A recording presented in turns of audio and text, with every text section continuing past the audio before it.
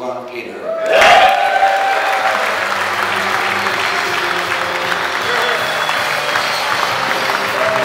Nice way to finish off the season today with a win, and then the boys all getting together for a good night tonight. Yeah, obviously brilliant. Uh, winning a game against Leinster, they're always tough opposition. So great to finish my career career here with uh, with a win, um, and great to celebrate. You know the guys doing well this season. Um, Jacob Stockdale had a terrific season. Sean Reidy's consistent as always. Tommy O'Hagan getting an award there. So um, yeah, just brilliant to, to, to, celebrate good performances. And then uh, you know it's my last awards dinner, so uh, really special to end it off this way. In seven sensational years here. He'll go down in history, folks, as we all know, as one of the greatest men ever to wear the white of Ulster.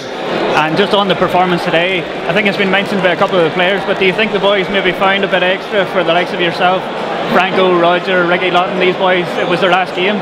Yeah, I think so. I think we showed a lot of passion today, played with a lot of heart, and uh, yeah, it's sad to always say goodbye to, to guys leaving. Uh, Roger's been a terrific servant to this club. You know, to play so many games is, is obviously a great achievement. Uh, Franco has been a great servant to Ulster Rugby. Um, Neil Doak moving on, Allen Clarke, all those guys leaving. You know, it's sad to say goodbye to those guys, but um, they've all added value to this club, and uh, that's all you can really ask for. It's been a very emotional day for you, um, but it's been great to be able to spend it with your family during the game today and, and tonight as well.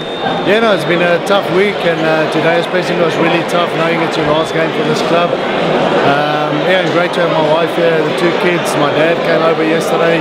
Johan Muller surprised me as well yesterday. So yeah, it's been emotional. It's been tough, but um, happy that we got the win tonight. To you know to to really celebrate uh, you know what I've achieved here in the club the last couple of years, where we've moved to as a club, and um, I'll, I'll be the number one supporter next year although I'm at a different club, I'll still, um, you know, support the boys and, and hopefully the fans will still get behind the team. I'm, I really believe they're good enough to win trophies and get silverware and um, hopefully that will be next year.